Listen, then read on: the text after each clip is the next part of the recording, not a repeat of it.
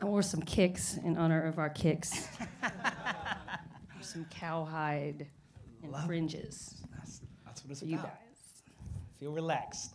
So, uh, with these conversations, it's um, just about connecting, just sharing your story.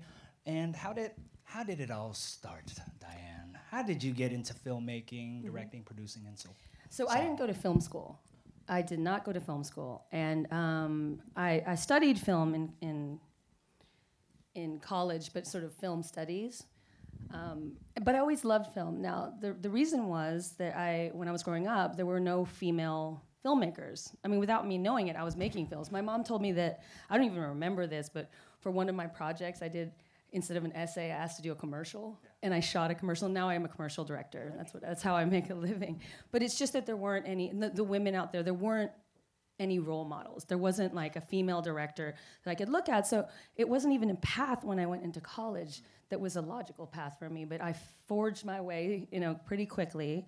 My first job was in advertising, and I talked the the, the head of the ad agency to let me be a, a, a agency producer. And then after I became an agency producer, I um, hired a company in New York called U Direct, and they um, they let the agency producers direct.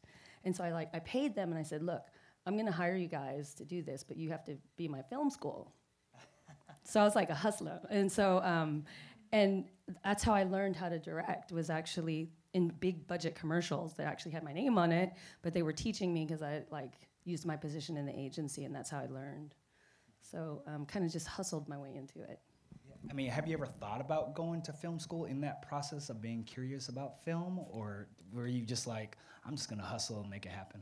No, I mean, I, I, I just started um, directing right away, and, and I, I've always been a director. And, and then, um, no, I didn't. I didn't.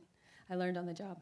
And when did you know you wanted to pursue it as a career? What was was there a defining moment, or I mean, that was it. Because after after that point, I was pretty much directing. Um, so just different types of things. Um, I started in television. I did. I directed stuff for Discovery Channel and MTV. I was at MTV for like three years, um, and um, and then I, I've lived in Hong Kong and I directed this Discovery cha- uh, Discovery Channel show where I traveled all over the world and shot cultures. And then when I came back to New York. Um, I always wanted to have my own company before I was 30. So at 29, I started my own production company, and um, and we did stuff for Bravo and all these places, MTV. Um, and then I made my very first film, which is called Kababayan. It was actually a Filipino film about Filipinos in New York that was commissioned by PBS. Um, and you know, it's just been like that. And then, then I made Brooklyn Boheme a couple years later, and then but along the way, always along the way, early on in my career, after I actually around the time I got back from Hong Kong, I wrote this script called Yellow Rose.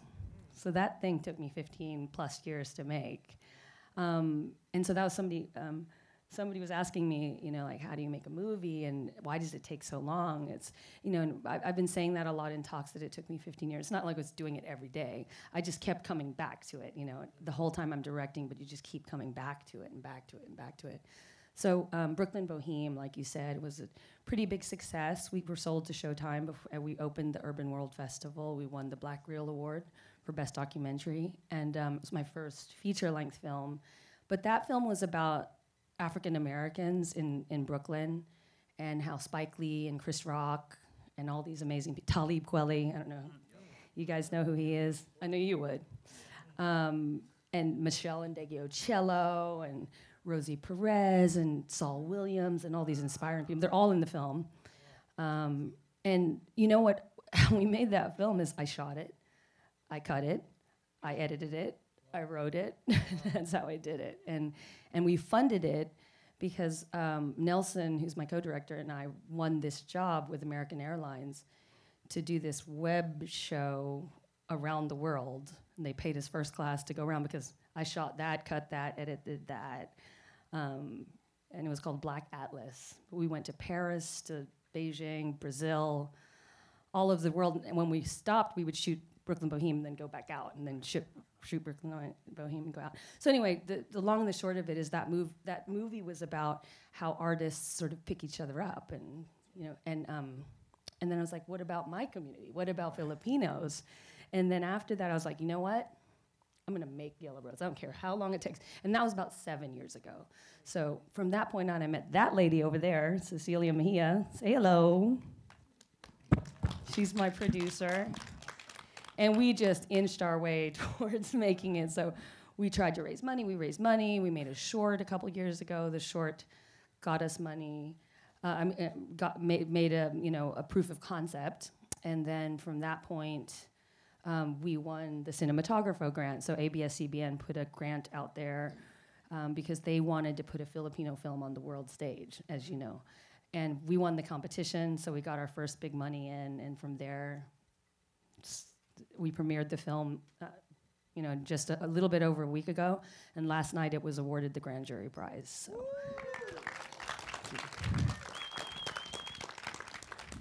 And so, along your journey, uh, becoming this director, writer, producer, uh, have you faced any challenges? And if so, what are um, what are those challenges, and how did you overcome them? That's a good question. The answer is like every single day. when you got brown skin, when you are a female, and commercials is the most male and the most difficult. I, I, I got into the DGA a long time ago, maybe 10 years ago. The, that's the Directors Guild. And um, when I when I went into their office, they're like, "Wow, you know, uh, it's Directors Guild is five percent women." Mm. By the way, it hasn't changed. It's still five percent women in, in the commercial division. That was the division I was in, but it's one percent Asian, so that was even worse. So um, I was like, "Damn." Yeah. um, but because we're talking on TFCU, just have a little story about specifically about being Filipino. Because in addition to being brown and Asian and woman, Filipinos are like second class within Asian. You know what I mean? And so like when I say it took me 15 years, like right when I began uh, writing the script, I sent it to this Hollywood producer and a great guy. And um, but he was his main money was coming from China. And so he said, Look, I'll, I can get this financed. You just have to change the lead character into a Chinese, which, by the way, would be a great movie. I, I have nothing against it, but that's not my story. So I said no. Um, and for this film, I got opportunities along the way that weren't the film I wanted to make. So I guess my advice to you is on the project that means the most to you, do not compromise. I've, I've, I've had so many filmmakers that made a movie. Thank you they would make they made their first movie because they got money to do it. It wasn't a film they were particularly excited about. They maybe didn't like the script. It was like, oh, it's a horror film and it's not very good, but you know, it's like a million dollars and I can do it. And guess what? They a lot of those don't work anymore. They don't work anymore. And so, and it's it's hard. It's hard to raise money to make a movie. It's the hardest thing in the world. It'll it'll break anybody because it's just so soul excuse my word, raping. It's like it's just like it's just tears your heart out because it's like you know it's good enough. You know what I mean? And then I think I just I'm lucky because I direct commercials. I can make a living, and a, a pretty good living doing it. And um, but I worked hard to get that position. But for Yellow Rose, I just wouldn't take. I would only do it in the way that I wanted to. So, for example, Cinematografo, I won this grant they said, here's the deal, you have to make the film this year. And the lead that I wanted was Eva Noblezada, who, by the way, just a week ago got a Tony nomination for Best Lead Actress in a Musical. So we're very lucky. All the stars are aligning. Um, I wanted her, and she was in Miss Saigon, so that was what she got her first Tony nomination. The girlfriend is a two time Tony nominee at 23 years old, which is incredible. So Pinoy power. Um, but you know, they're like, if, well, we're going to take away the grant if you wait for this girl. And I'm like, okay, I'm going to wait for the girl. And I just cross my fingers. And guess what? They let me keep the grant and they gave me more money. Because they were like, that takes balls yeah. to give up a grant that you've been waiting for that long. You know, it's not a small grant, it was a six figure grant. So um, I just you know, what it is is if you stand at the door long enough and you knock on it hard enough, it will open. And in my case, I'm the first Filipino female to open the Asia, LA Asian Pacific Film Festival, and that door opened, and I bet it's going to be a lot easier for any of you out there to walk through that door. So I'm glad I was standing there, and I was waiting, and I was knocking on it. So That's beautiful. That that right there just epitomizes owning your narrative. Like no matter what, you're not compromising, that's and you're just like living proof of that. And uh, again, I'm getting chills because I could feel the hard work and hustle it took to get where you are today. And this is just the beginning. That's what's so exci- exciting. Yeah. um, just to wrap this up, why is um, Yellow Rose important, especially today? To share. So those of you who don't know, and I hope all of you come to the screening tonight, um, and if you couldn't get tickets, unfortunately, because it's sold out, we're having another screening on the 16th at the Piedmont Theater in Oakland. So um, that's a big theater. There's you know a lot of seats left, and I apologize if you couldn't get into this screening, but please come and see it. It's a special movie, as you heard. I put all my heart and soul, and so did my producer, and my entire cast, and everybody on it. Just was just it was just like love fest. Um, but the story is about a 17 year old Filipino undocumented girl who dreams of being a country singer.